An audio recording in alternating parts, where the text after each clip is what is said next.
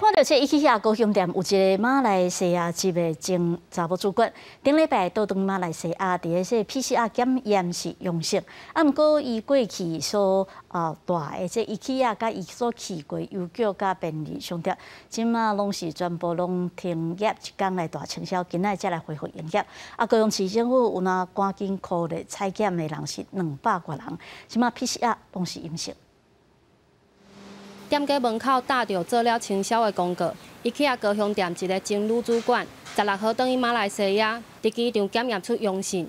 伊伫高雄期间传出捌去过邮局甲店家，二十一号嘛停业一工做消毒，二十二号较好业，但也是有民众感觉惊惊。一点点风吹草动都会比较担心一点啦。我们当然是希望，就是说不要有那种疑似的，即使是疑似的话，也是挺麻烦的。因为我们都有做好那些距离啊。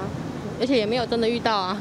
经过两天的消毒甲进济空管，伊去啊高雄店二十二号中昼后业开馆进前，清洁人员已经伫内底摒扫。高市府表示，这个疑似阳性的案例，目前也未接到国际卫生条例 （IHR） 组织通报做确诊的案例。但为着安全，市府有愿可能采检相关的接触者，两百二十五个人 PCR 采检拢是阴性。经过讨论之后，也决议综合研判他的呃这个。